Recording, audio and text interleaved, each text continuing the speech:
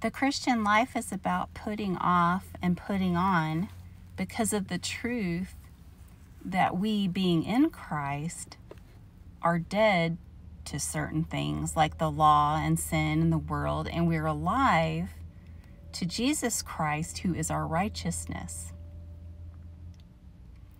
Upon deeper study of the meaning of these terms as they are used in the scriptures, we will see that putting off can also be described as laying down or setting aside or even fleeing or forsaking something.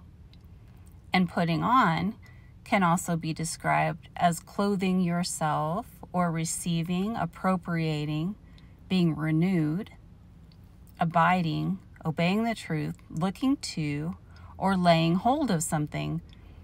We both put on and put off by faith in Christ Jesus. And we're going to see in this study that what putting off and putting on comes down to is a matter of flesh versus, versus spirit, carnal versus spiritual, self versus Christ, old versus new, condemnation and death versus life and peace. And it's important to remember that actually doing this is all just a matter of faith, which is reckoning what God says is true to be true even if we can't necessarily see it manifest right now the way we'd like it to be. And understanding this major theme in the New Testament epistles, I'm hoping will help you to see the bigger picture so you don't get bogged down like we all naturally tend to do by the admonitions in there that can seem to be putting demands on you that can cause you to feel overwhelmed and discouraged. The reason that we can feel that way is because we easily fall back into reading scripture by the letter rather than the spirit. And a necessary tool in overcoming that tendency is to read everything in the larger context of the gospel taught in scripture. Or I've heard many people say always read scripture with your grace goggles on. And I've also heard it explained as reading the Bible with your armor on. In other words, be rooted in Christ, standing on the solid foundation of the gospel that He laid when He laid down His life for us and resurrected.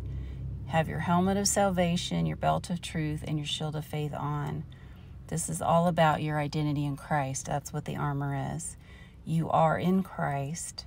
You have nothing to fear. His yoke is easy and his burden is light. This hope that we have in Christ serves as an anchor for our soul. It keeps us sober minded and solid, holds us steady in place so that we're not tossed to and fro by every wind of doctrine that can come even sometimes from our own Bible reading. If we if we get bogged so bogged down and distracted by details that are taken out of context and hyper focus on them, we could start to have an anxiety attack. so um we we also need to remember that faith is is reckoning. We just need to get that in our heads. We God has presented these truths and we reckon them as true, okay? Our flesh, which is our old man in Adam, that's how the Bible describes it, okay, was already judged and crucified at the cross with Christ. And he is meant to stay there. Some people are arguing that we're no longer dead and crucified because we are risen with Christ and we're an entirely new creation. Well, the problem with that is not only are they denying clear scriptural truth, but they don't have any idea what their flesh is, what God thinks of it, and how we're to deal with it based on how He dealt with it in His wisdom and righteousness. And they're leaning on their own understanding in that essentially. And God is not putting demands on the old man, which is also called the flesh. You can't improve it and clean it up and make it acceptable before God. You just can't. The part of you that was raised to new life in Christ is your spirit, which is one, one in spirit with the Lord. You're made alive in Him, and He is your life. Christ in you, the hope of glory, right? That was a mystery revealed through Paul. But we need to remember that the good works, righteousness, and holiness are Christ and will originate from Him by faith.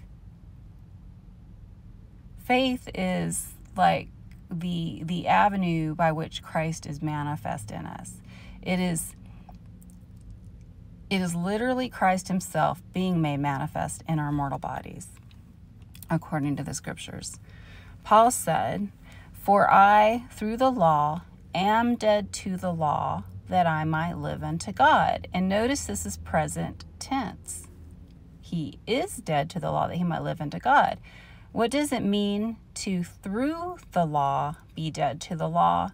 It means Paul agreed with the law and its work to condemn him as a sinner with as a sinner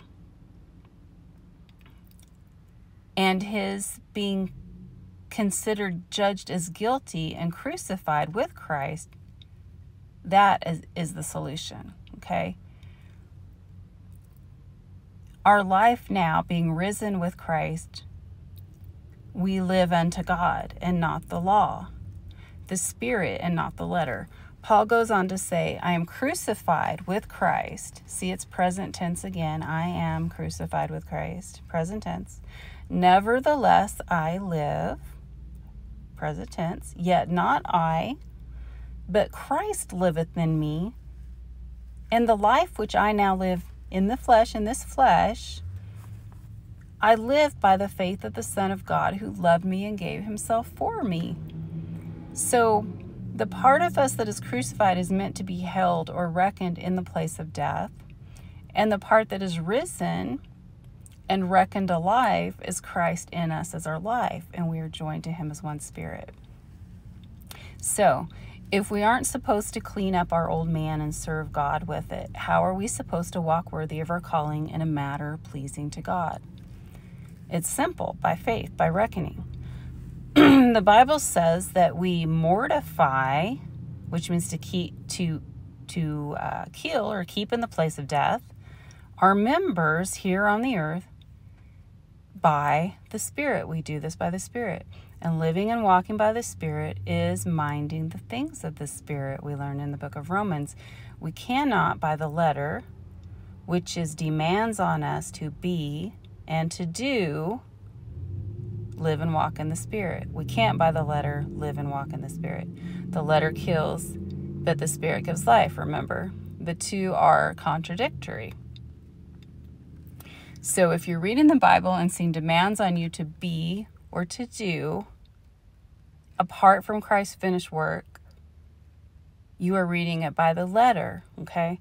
The reason the letter kills is because it condemns you. It shows you that you fall short. You trying to do things pleasing to God and be pleasing to God apart from who you already are in Christ because of his finished work will get you nowhere. If you want the life and peace of Christ promised in the scriptures, you need to lay hold of it by faith in the gospel.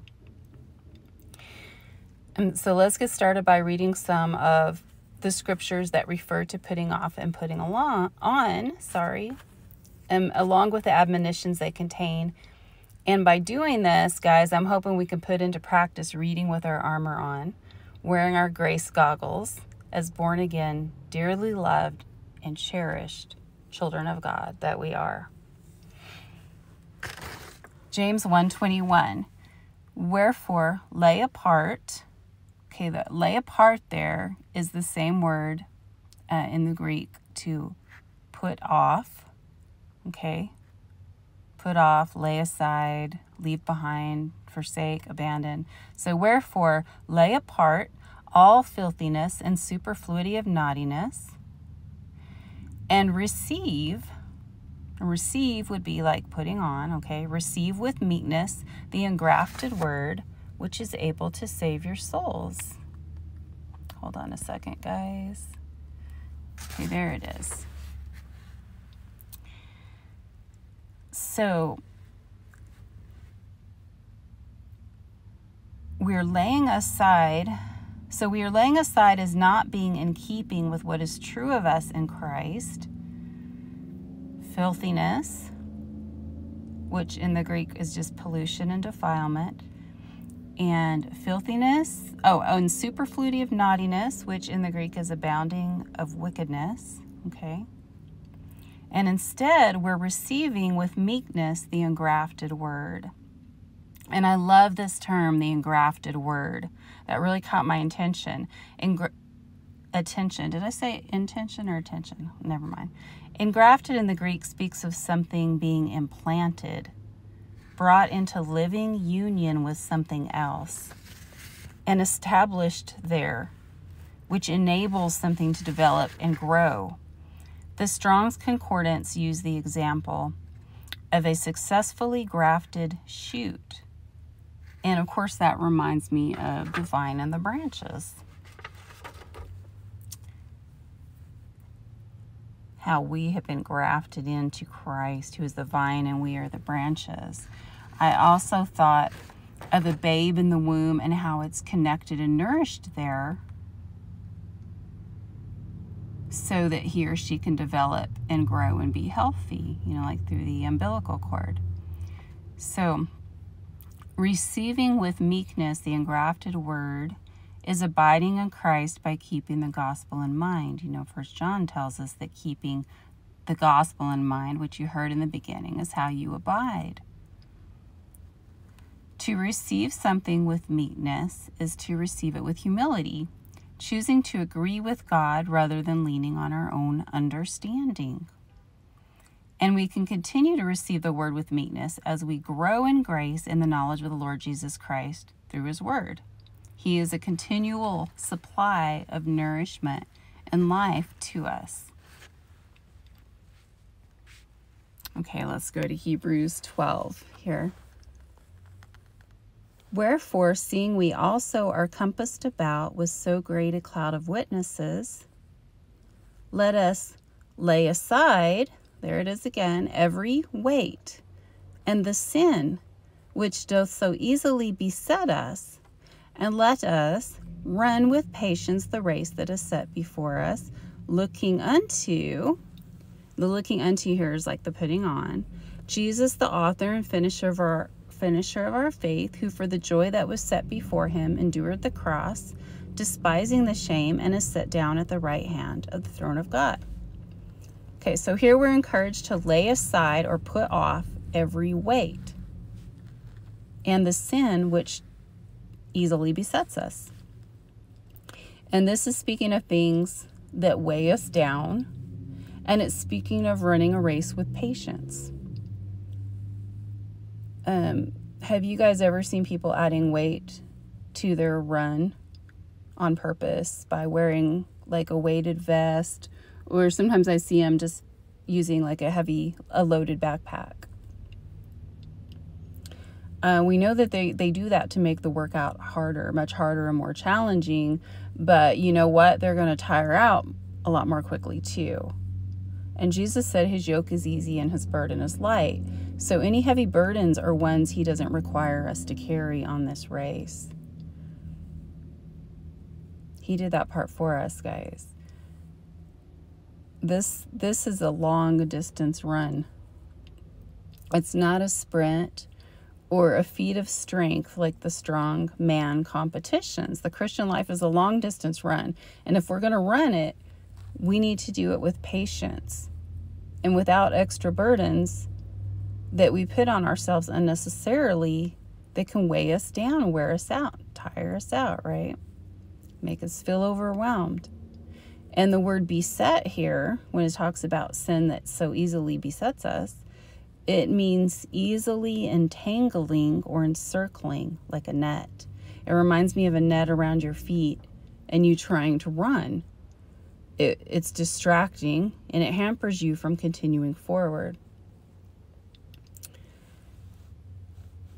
And here it tells us the, the way to continue forward is to keep our eyes on Jesus, to look to, to Christ Jesus, the author and the finisher of our faith. He is the joy set before us. We are co heirs with Him. We can endure the hardships of this life when we keep our eyes on Him and who we are and what we have in Him. We're never alone, He's running with us. Sorry, guys. When I think in terms of a race and Jesus being the author and finisher of our faith that set us on this race in the first place, that means he's there at the start, the finish line, and every step in between. He'll never leave or forsake us. He knows we can do nothing apart from him, and he wouldn't ask us to. Somebody's car alarm is going off. I don't know if you can hear that. I had a dream one time that Jesus was walking with me with his arm wrapped around my shoulder, holding me closely to his side. And I was looking at him. I was like staring at him at his profile. And he was looking straight ahead.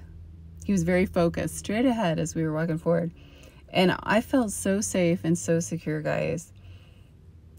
And I knew that he knew what he was doing and he knew where he was going, you know and that I was going to get there safely too because he he just held me close with his arm around me and that's how he has us guys all of us.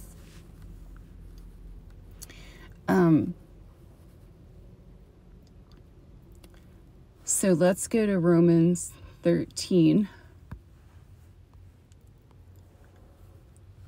The night is far spent, the day is at hand. Let us therefore cast off the works of darkness, and let us put on the armor of light. So the putting off is the casting off. Okay? And the putting on is putting on the armor of light. Let us walk honestly as in the day, not in rioting and drunkenness, not in chambering and wantonness, not in strife and envying, but put ye on the Lord Jesus Christ. There's another put on, right? And make not provision for the flesh to fulfill the lust thereof. There's another putting off, not making provision for is a type of putting off, right? So that's what I mean by there's a lot of different terms used with the same essential meaning meaning of put off and put on. And it all works the same way. So so here again this is about remembering who we are in Christ we have been transferred out of the darkness into the light. And Paul always reminded the church, the children of God in the church, of who they were in Christ. He would appeal to their identity. If they were doing these types of things, they need to, needed to remember that those things don't define them or make them any less who they are in Christ. In fact, those things are really not in keeping at all with who they actually are. So keep that old man and his deeds nailed to the cross where he belongs and live Christ by faith. Let him be manifest in you. Let his fruit of the Spirit be manifest in you as you keep walking forward with him, eyes on him we are changed from glory to glory as we behold him.